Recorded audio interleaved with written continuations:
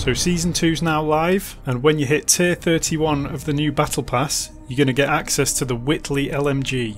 Now we're just going to do a quick run through of the attachment list, pause the video when you need to, take a screenshot, jot some things down, but just remember all this information has been taken from Vanguard and there may be some differences over in Warzone. Check the pinned comment below for any corrections, and let's take a look.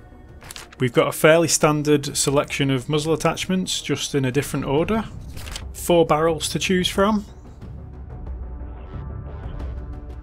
A large range of optics, with a potential of up to 23 coming across the Warzone.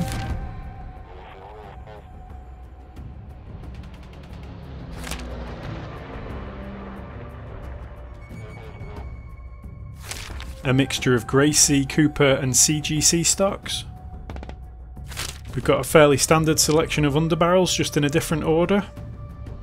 There's magazines ranging from 45 to 150 rounds, which is only beaten by the MG42 which can take 250. We've got the usual variety of ammo types, but if you are looking to get incendiary rounds you're going to have to push all the way up to level 64 before you unlock them. The grips are all identical, just mixed into a different order.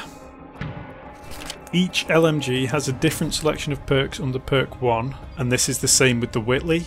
And finally, as with all the other LMGs, we have the same selection of perks under perk 2, but here they're in a different order. If you found this one useful, please drop me a like below. If you'd like me to look into an older gun, then drop a request in the comments. The next few videos are probably going to be more gameplay focused because we've had a few good wins over the past week, so subscribe if you fancy seeing those.